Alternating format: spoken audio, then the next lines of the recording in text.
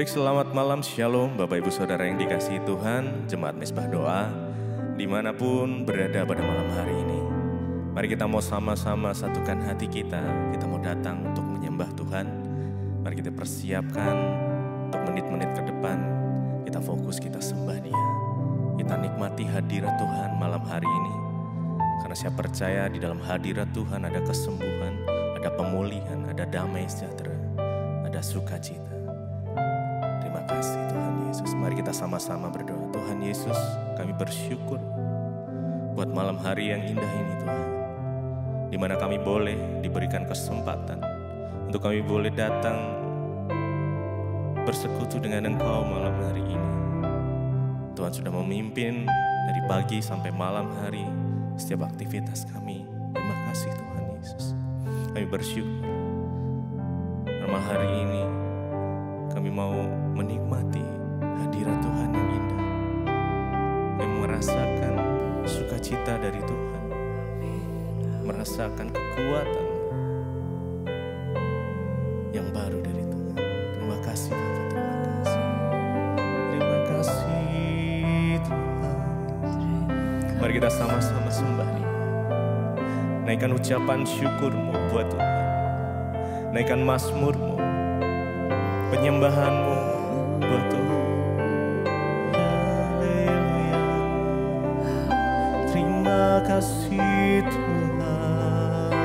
kami bersyukur, kami menyembahmu Yesus. Dengan segenap hati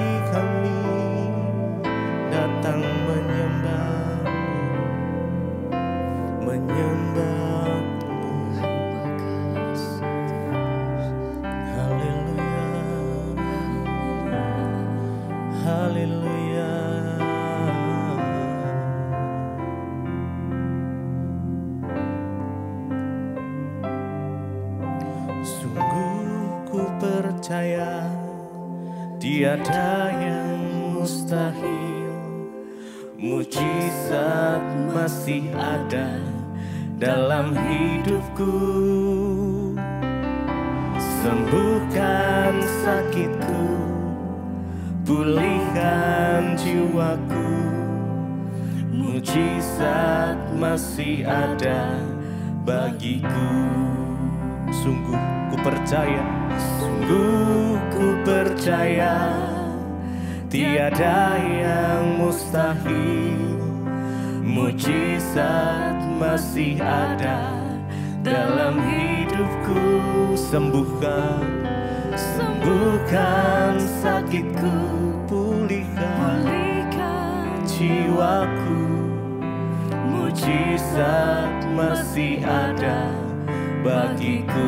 Mari sama-sama nyatakan Sungguh kami percaya. Tuhan Tiada yang mustahil bagimu. Mujizat masih ada dalam hidupku.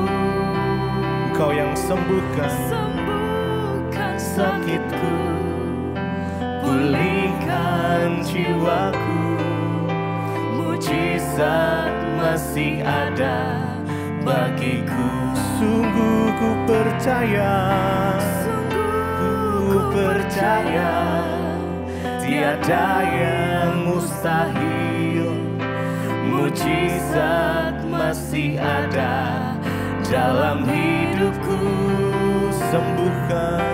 Sembuhkan sakitku. Pulihkan jiwaku. Mujizat masih ada bagiku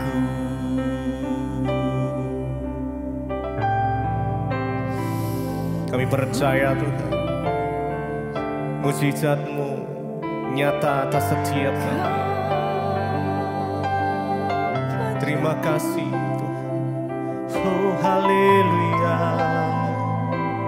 Kami datang menyembahmu Kami datang di hadiratmu Tuhan. Oh nikmati hadiratmu Menikmati semua kebaikanmu Yesus. Terima kasih Tuhan. Haleluya. Haleluya. Terima kasih. Terima kasih Tuhan.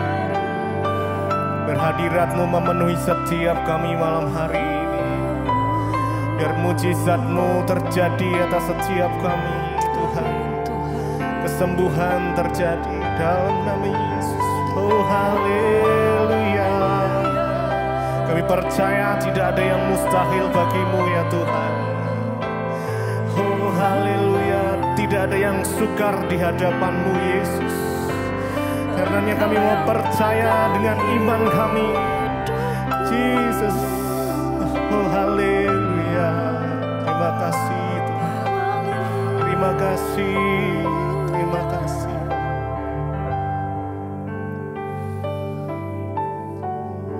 Terima kasih Tuhan Yesus Jesus Amin. Terima kasih Tuhan. Tiada yang mustahil bagimu Tiada yang sukar di hadapanmu Yesus. Tiada yang tak mungkin bagimu. Sebab itu ku percaya padamu. Tiada yang mustahil Tiada yang mustahil bagimu Tiada yang sukar di hadapanmu. Yesus Tiada yang tak mungkin bagimu. Sebab itu Sebab itu ku percaya padamu. Tiada yang Tiada yang mustahil bagimu Tiada yang sukar di hadapanmu. Yesus Tiada yang tak mungkin bagimu. Sebab itu ku percaya padamu. Mari dengan imanmu Naikkan pujian ini. Oh tiada yang bagi- mustahil bagimu Tuhan Tiada yang sukar di hadapanmu. Yesus Tiada yang tak mungkin bagimu. Sebab itu ku percaya padamu. Sekali lagi naikkan. Tiada yang mustahil bagimu. Amin Tiada yang sukar di hadapanmu. Yesus Tiada yang tak mungkin bagimu. Sebab itu kami percaya. Sebab itu Ku percaya padamu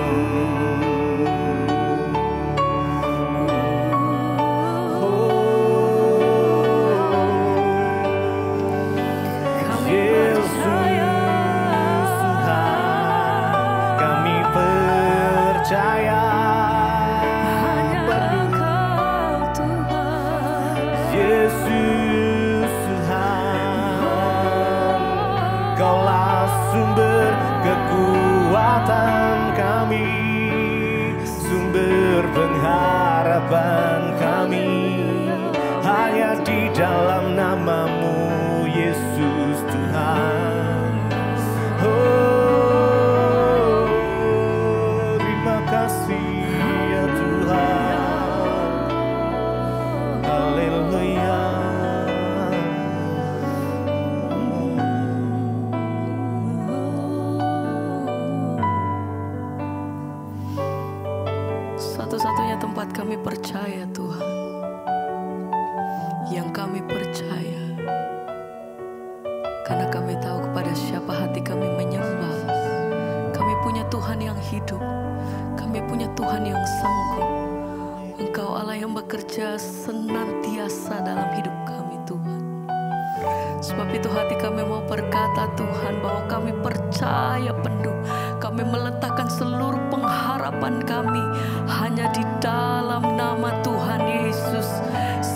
hati kami Tuhan.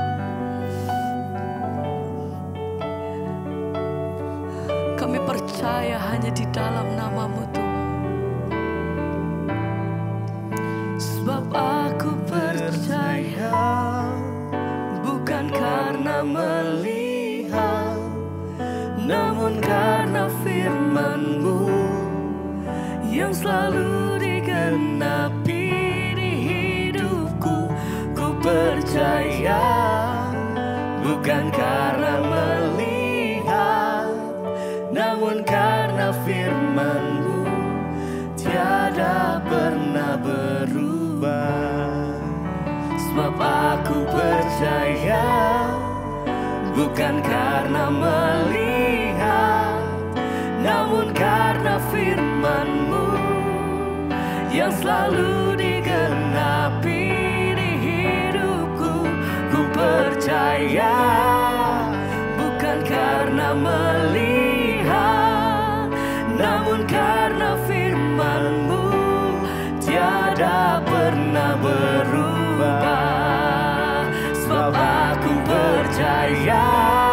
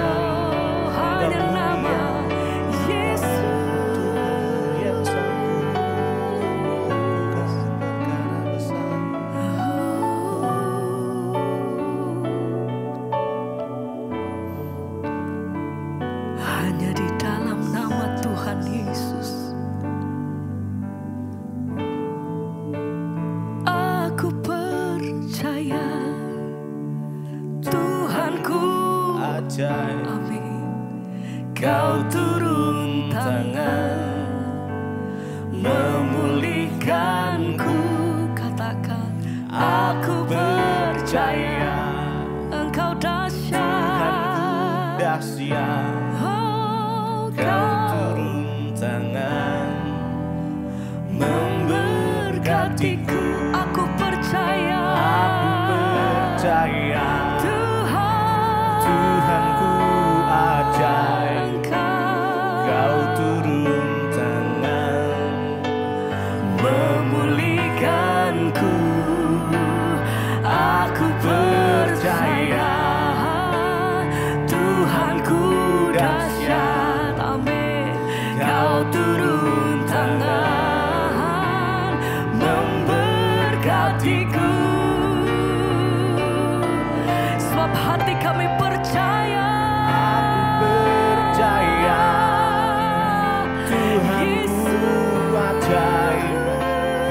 Kau turun tangan. Satu-satunya yang kami pegang teguh dalam hidup kami sampai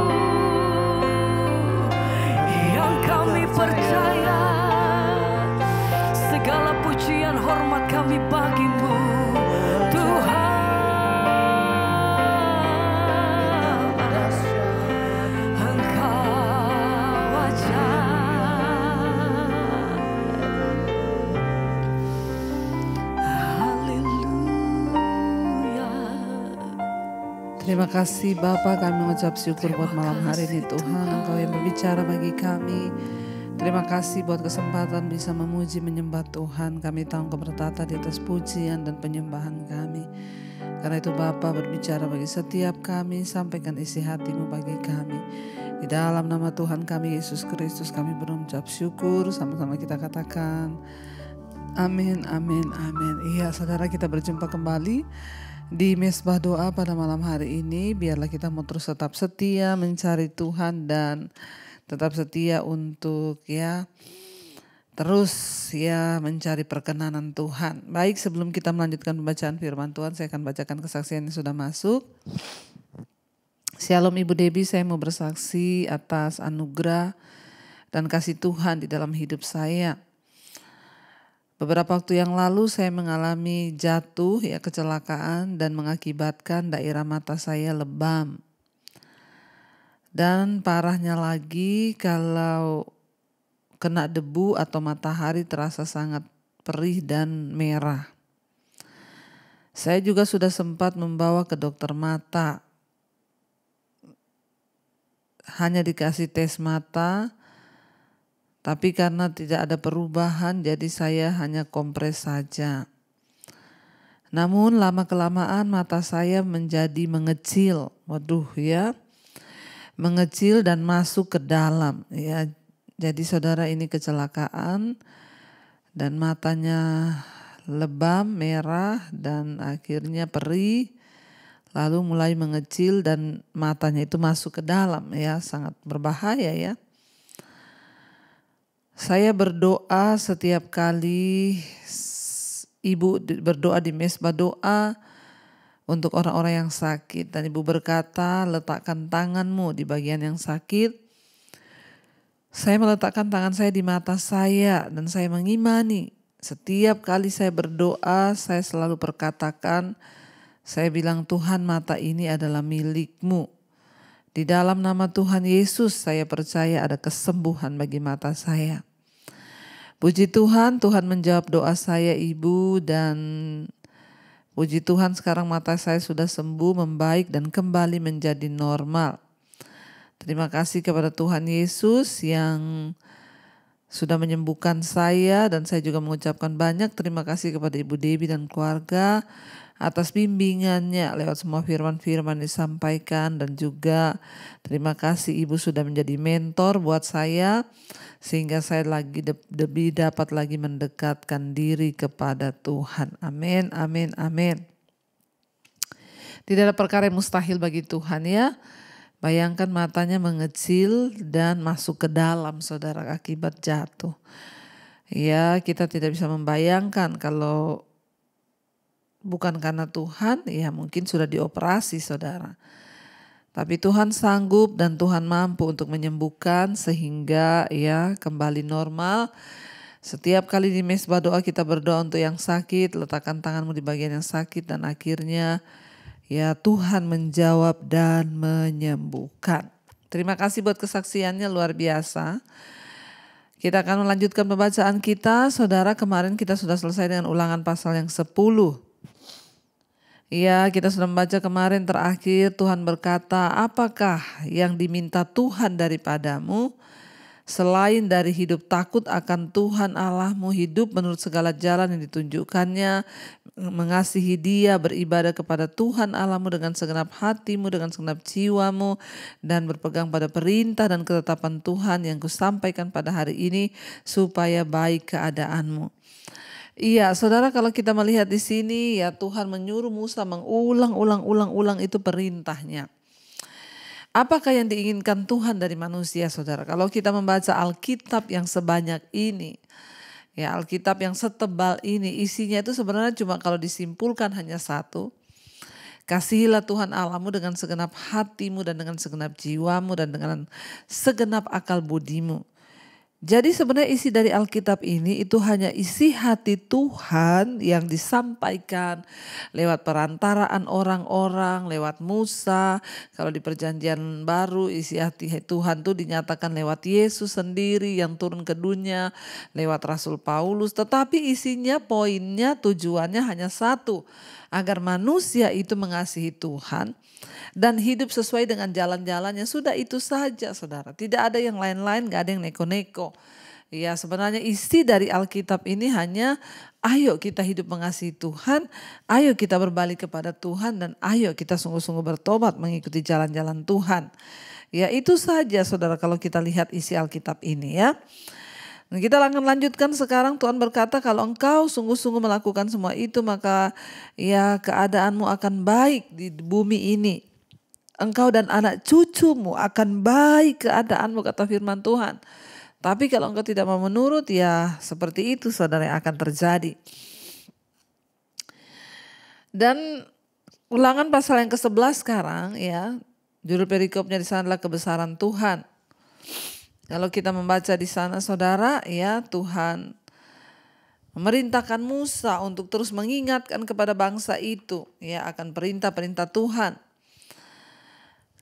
Ulangan pasal yang ke-11, haruslah engkau mengasihi Tuhan Alamu dan melakukan segala dengan kewajiban, dengan setia kewajibanmu terhadap dia, dengan senantiasa berpegang pada segala ketetapannya, peraturannya, dan perintahnya.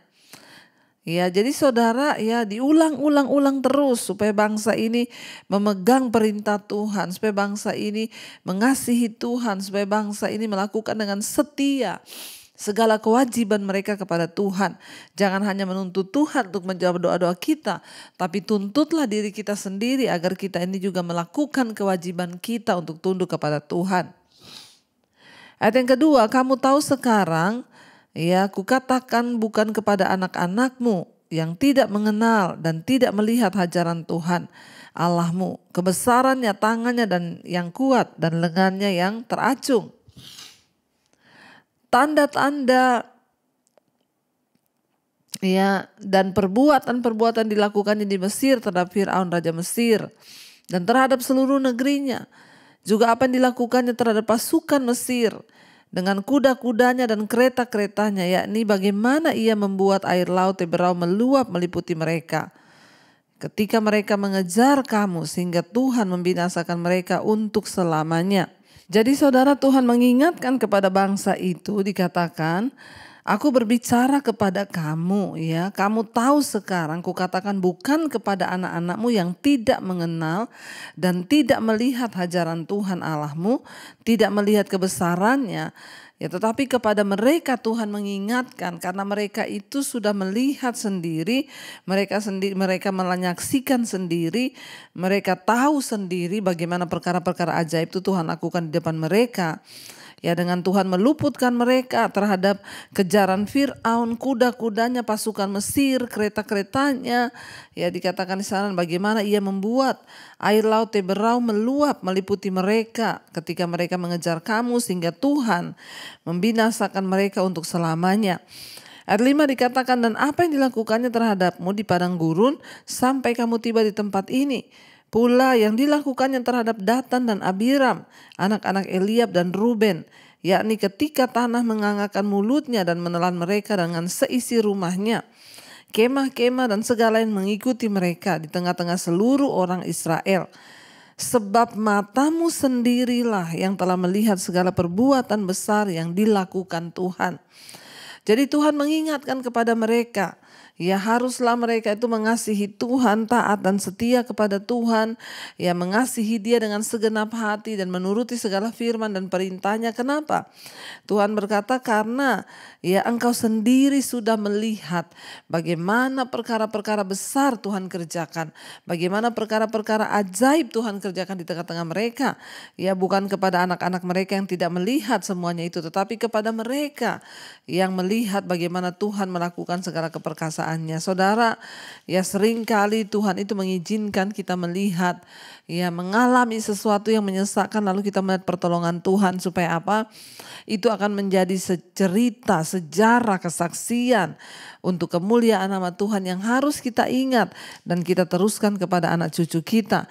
Tuhan berkata, "Kamu sudah melihat sendiri ya bagaimana aku menyertai, bagaimana aku membela, bagaimana aku melakukan perkara-perkara yang besar. Kamu sudah melihatnya dengan matamu sendiri." Ya, karena itu kebangetan Saudara. Kalau mereka sudah melihatnya dengan mata mereka lalu mereka tetap tidak percaya, apalagi mereka ya tidak mengandalkan Tuhan. Israel itu mempunyai alasan yang kuat untuk percaya kepada Allah dan juga mentaati perintah-perintahnya. Jadi alasan untuk mereka mengasihi Tuhan itu sangat kuat. Yaitu apa kata Tuhan? Mereka ini telah menyaksikan suatu ya mujizat-mujizat hebat ya yang memperlihatkan kasih kepedulian Allah kepada mereka. Jadi sukar dipercaya bahwa mereka itu ya sangat sulit untuk setia kepada Tuhan. Harusnya semakin kita melihat perkara-perkara ajaib, ya bayangkan di depan mata mereka mereka melihat laut terbelah, ya tentara Firaun itu terkurup berhidup-hidup dalam air laut. Di depan mata mereka sendiri melihat bagaimana gunung batu mengeluarkan air.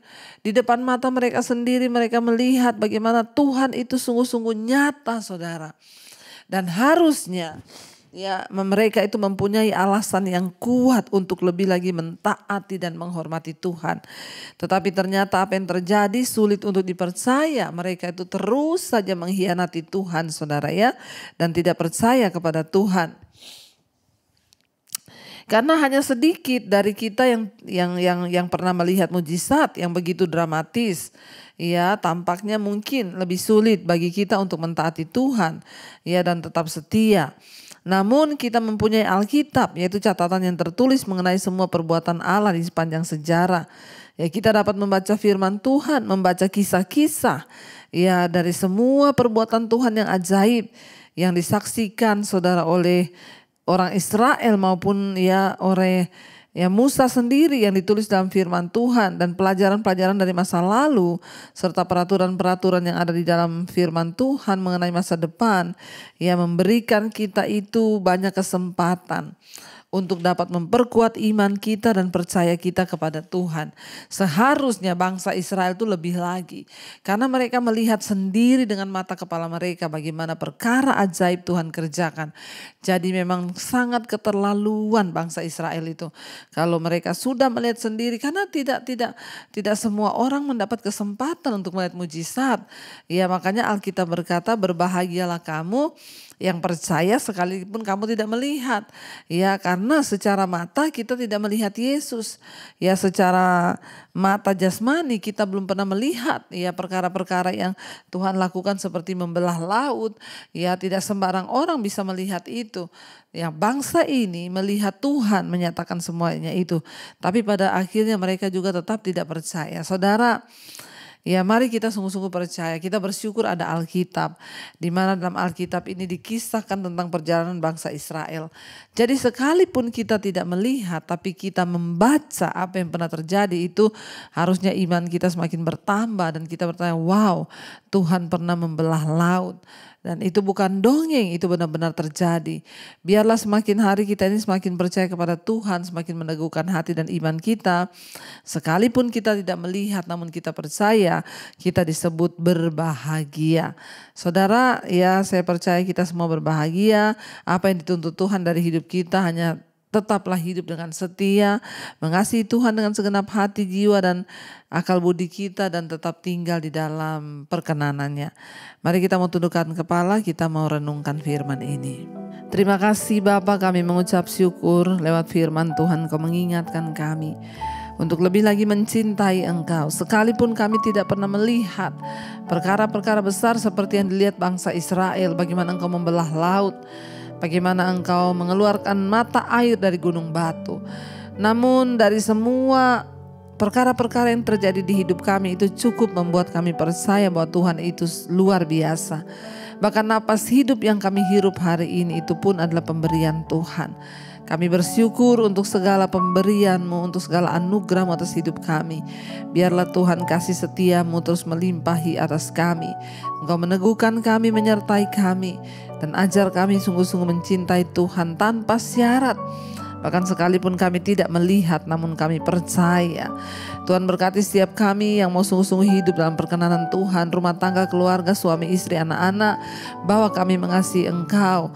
Dan hidup di dalam takut akan Tuhan. Menghormati firman-Mu. Mengasihi Engkau dengan segenap hati dan jiwa dan kekuatan kami. Engkau juga memberkati orang-orang yang malam hari ini ingin terlepas dari ikatan-ikatan dosa, kenajisan, percabulan, perselingkuhan, homoseksual, lesbian, yang terikat dari rokok, minuman keras, obat-obatan terlarang, yang terikat dari pornografi, yang terikat dari narkoba, yang terikat dari amarah, kepahitan, kebencian, yang terikat dari ketakutan, kekhawatiran. Kami berdoa Tuhan putuskan di dalam nama Yesus. Bahwa hidup kami dikuduskan dan hidup dalam perkenanan Tuhan. Berkati setiap mereka yang terbaring sakit hari ini Tuhan. Mari saudara engkau yang sakit. Letakkan tanganmu di bagian yang sakit dan perkatakan aku percaya Yesus sanggup menyembuhkan. Biarlah kesembuhan yang dari Tuhan mengalir atas kehidupan setiap anak-anakmu Bapa. Sehingga kami dapat terus hidup di dalam perkenanan Tuhan.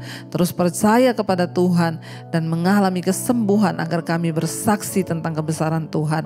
Tuhan juga memberkati untuk setiap mereka Bapa yang rindu punya keturunan. Tuhan bukakan kandungan yang tertutup. Anak keturunan ilahi Tuhan berikan. Kami berdoa untuk setiap mereka yang terlilit masalah keuangan, hutang piutang yang ingin menjual aset. Tuhan engkau turut bekerja mendatangkan kebaikan. Yang terbaik Tuhan akan lakukan ketika kami bertobat. Kami juga mengangkat tangan bagi bangsa dan negara kami malam hari ini Indonesia. Lawat Indonesia dari Sabang sampai Merauke. Jamah Tuhan mulai dari Presiden Jokowi, wakilnya seluruh jajaran kabinet TNI Polri yang ada, lembaga-lembaga negara dari pusat sampai kepada desa-desa pelosok, Tuhan memberkati. Bangkitkan bangsa ini Tuhan. Bawa bangsa ini untuk sungguh-sungguh mengasihi Engkau. Bawa bangsa kami untuk sungguh-sungguh melihat bahwa Tuhan mengasihi bangsa ini. Kau berkati Tuhan bangsa Indonesia. Biarlah hujan pertobatanmu tercurah. Diberkati tanah, air, udaranya sehingga bangsa Indonesia menjadi berkat bagi bangsa-bangsa yang lain. Ketentraman, keamanan tercurah bagi bangsa kami. Menjelang pemilu 2024, kami gagalkan, kami patahkan, kami hancurkan segala kepentingan-kepentingan yang hanya untuk kepentingan golongan. Kami berdoa biarlah Tuhan kepentingan bangsa dan rakyat di atas segala-galanya. Engkau pilih pemimpin yang terbaik yang berasal dari Tuhan atas bangsa kami Indonesia. Berkati Tuhan. Nah, semua bangsa-bangsa di lima benua Asia, Afrika, Amerika, Eropa, Australia, Tuhan tutup bungkus dan kuat kuasa darah, Engkau lindungi, Engkau sertai, sehingga bangsa-bangsa ini Tuhan boleh hidup takut akan Engkau, berbalik dari jalan yang jahat. Terima kasih Bapa, kami membuka hati dan tangan kami malam hari ini menerima berkat yang tercurah dari sorga. Karena itu terimalah saudara berkat dari Allah Bapa, cinta kasih Tuhan Yesus Kristus, penyertaan Allah Roh Kudus, menyertai hidupmu mulai hari ini bahkan sampai kali yang kedua.